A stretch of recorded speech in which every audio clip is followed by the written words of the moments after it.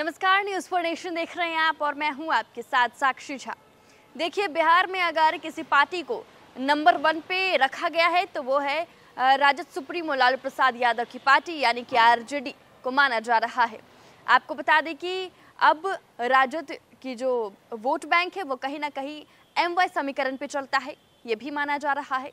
लेकिन आपको बता दें कि अब राजद के इसी एम वाई समीकरण में सेंध मारने के लिए ए आई एम आई एम के जो नेता है, असुद्दीन ओवैसी, वो बिहार में एंट्री मार चुके हैं और कहीं ना कहीं जो एम वाई में एम है एम समीकरण तोड़ने की कोशिश में है। क्या है पूरी खबर? आइए आपको बताएँगे इस वीडियो में।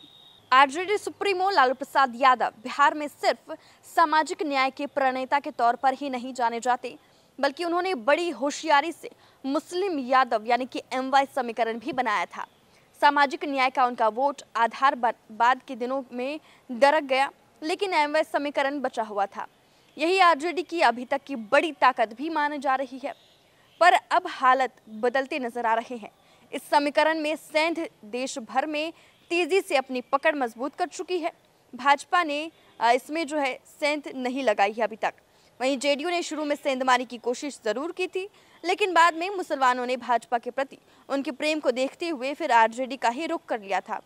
इसका सुफल 2020 में विधानसभा चुनाव में काफ़ी हद तक आरजेडी को मिला भी।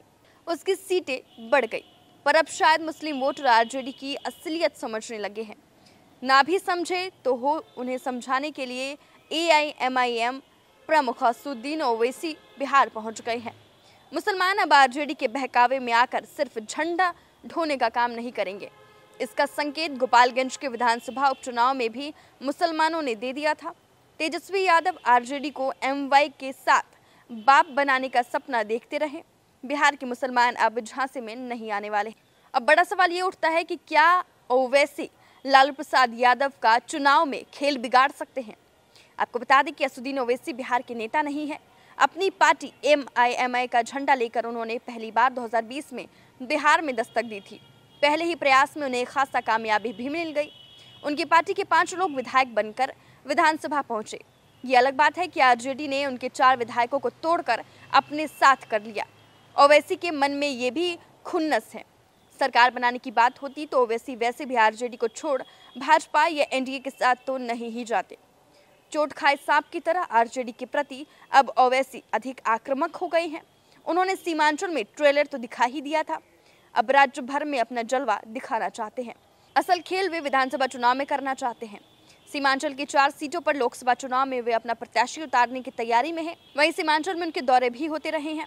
कुछ ही दिन पहले सीमांचल में आए थे, वहीं अपनी सभाओं में ओवैसी सीधा सवाल लोगों से करते हैं कि मुसलमानों का वोट पाने के लिए आरजेडी एम वाई समीकरण की बात करता है। पर क्या कभी मुसलमानों की मसाइल हल करने की आरजेडी ने कभी कोशिश की? उनके सवाल में ये संदेश भी अंतर्निहित होता है कि अब मुसलमान आरजेडी का मोह त्यागे। देखिए, शहाबुद्दीन की पत्नी हिना साहब ने चुनाव लड़ने से मना कर दिया है।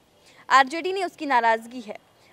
तो देखिए असुद्दीन ओवैसी अब लालू प्रसाद यादव को चुनौती देने बिहार पहुँच गए हैं और उनके एमवाई समीकरण में सेंध लगाने के लिए बिहार में एंट्री ले चुके हैं।